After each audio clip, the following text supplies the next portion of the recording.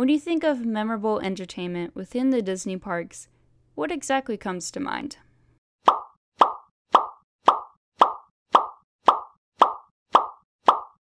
All of them being great choices, but in this video, I'm going to talk about a certain nighttime show that I personally prefer to make a tradition when I go to Disney, and I can't wait to share why that is.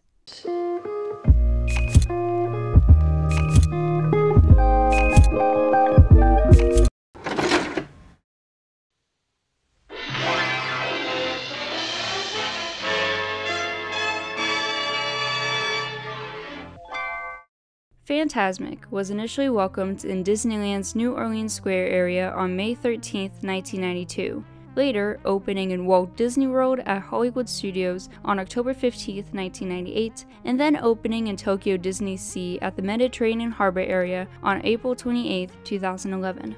Fantasmic, as you may have guessed, is a fantastic name created by Imagineers. The prefix may sound familiar to those who recall what's considered to be the first fully animated film titled Fantasmagorie, that was released in 1908 by French caricaturist and the father of the animated cartoon, Emile Cohl.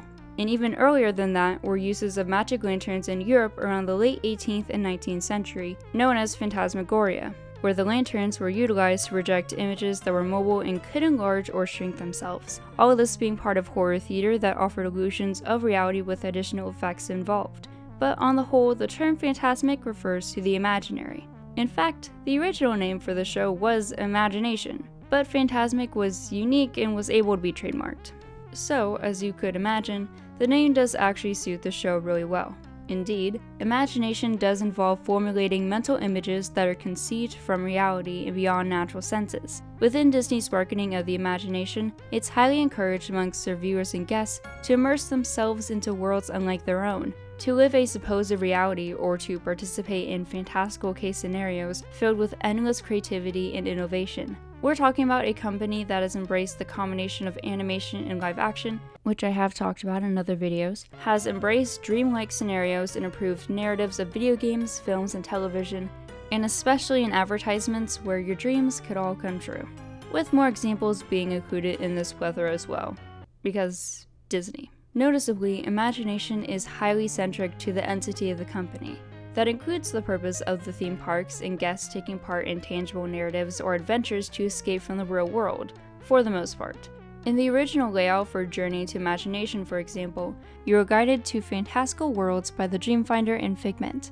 It stretched itself beyond guiding viewer perception with sensory inputs in the midst of Figment's antics, which is what it currently represents. The parks are escapism at its finest, and obviously I can take any ride or show and place analysis over how it succeeds at every capacity, or how the costume characters you may meet and greet with are all within the inner circle of the company itself and are just as physically interactive in the parks. It's what makes the larger Disney community stand out for the various character designs, personalities, roles, and other aspects that make for all of them to be beloved in their own ways, especially when they're cherished in parades, merchandise integration, fireworks, spectacles, media, and the highlighted piece of this being their shows.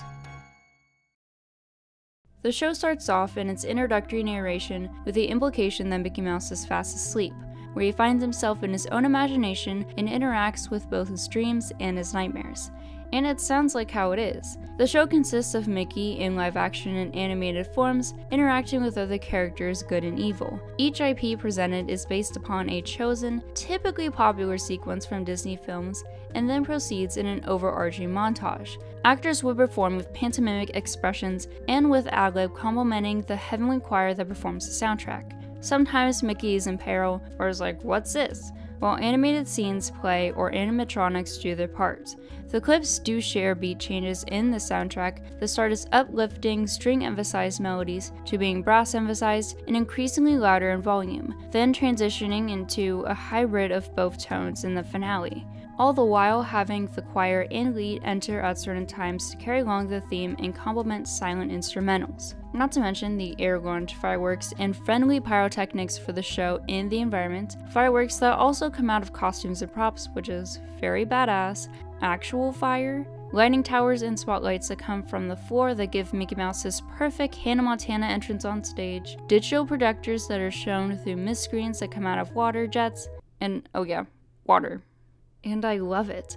The colors are vibrant and full of life. The choice of films that transition and the intercuts of Mickey into the whole piece is wisely done, and I find the overall show to flow and be well attainable of Disney as a company, especially when keeping in mind that each show in their franchise locations and the other productions across the parks do pick and choose what properties to use. Furthermore, the rewatchability makes it great too, because we're able to watch it in different places and have certain segments that travel across be seen at a greater proximity or get to have different frames of mind for how Mickey's journey plays out. The dream versus nightmare binary opposition is especially marketable, and the ideal selling point for Fantasmic to global audiences because of the exuberant energy that's persistent through the entire running time. Mickey and Maleficent are also the two extremes of those comparisons to be against each other, and even then, the two characters are the only actors on stage that we see completing the climax, to where the over the top finale comes along and is spurred with glee and musically synchronized choreography, which I will admit is very infectious. Nonetheless, the reason why I go to Fantasmic more than other shows offered at Disney parks is because of how they embrace the sentimentality Disney gives to fans of all ages. And it also just doesn't fear being cliched. Its intention is to be captivating with visuals and the soothing, youthful atmosphere it carries through its production. Believe me when I say, you are going to feel a roller coaster of emotions, all the while watching a talking mouse kill off a green lady who turns into a dragon that comes from the ground to exude fire towards the audience, only to be killed off by magic sorcerer powers, which used to be a sword, while evil dragon lady is screaming in misery. Again, it's badass for the right reasons. And even if he may not like certain aspects of the show, I feel like a lot of people are just left amazed that the technology we have today could literally make anything happen. What I also enjoy about the show is that it does have a through line. I mean, don't get me wrong, I love the world of color, but it really is about water jets and mist streams fulfilling a montage of some sort.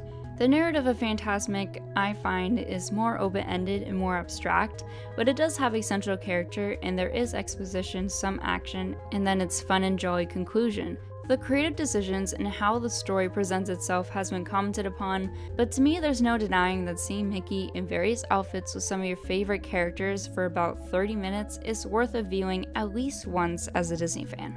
But I mean, if there was one means of constructive criticism I had, it's that if there was a better way to view it at Disneyland without fighting for any spot to sit at the show, or else you stand for all eternity. We are eternally grateful. But nonetheless, the mix of fantasy and reality has especially been utilized to Disney's advantage in recent years since the show's beginning, especially with Mickey as the proactive protagonist. Mickey and the Magical Map is a more concise daytime show of Fantasmic, with dreamers in a compass navigating with characters to spotlight. But if I were to mention that Mickey enters an imaginary place to make him realize more about himself plot, it'd be Epic Mickey. Epic Mickey is the ultimate parallel to Mickey's own transportation into imagination.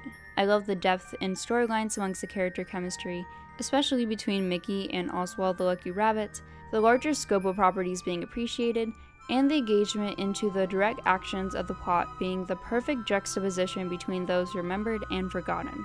It touches upon leadership, friendship, forgiveness, and fighting for a common good. It has great graphics that touch upon the traditional animation style of Disney with a modern touch. I like the dark neutral color palette and how grave the situations can be in the game, and I find the Shadow Blot as a great antagonist to be affiliated with other greats, like how Chernabog is featured in Fantasmic. Of course, both examples involve Mickey getting himself into a storyline out of curiosity, and the refusal of the collective wisdom around him. It's Yensid, by the way, but like, should we be surprised? But that's what's endearing. To a nine year old me going to Disney World for the first time and watching the show before my eyes, I was glued immediately onto the world building Disney could present because of this show, and it made me excited to make my own imagination come to life too. I also had a lot of sensory sensitivities when I was younger, so going to spectacles like a fireworks show weren't my cup of tea. But it did inspire me to look into a larger sense of visual storytelling through a tangible means that I hadn't ever seen before, and because my best friends were stuffed animals, and ones that I got from visits to the Disney store or even to the parks, led me to write a story about a girl who transported herself into her own imagination. Not gonna lie, it is very reminiscent of Fantasmic, but I found ways to make it more cinematic slash melodramatic and involving the villain causing terror that threatens the existence of imagination. The concept actually culminated into a stop motion I made very early on my channel. If you'd like to see some of my ideas from that story I put together and how I made it come to life. So, for everything I mentioned, I am truly grateful for this show and that it's become my favorite show on Disney property to watch in person or at least on YouTube every once in a while. And I guess I can only hope that Mickey continues to inspire many more in the coming years.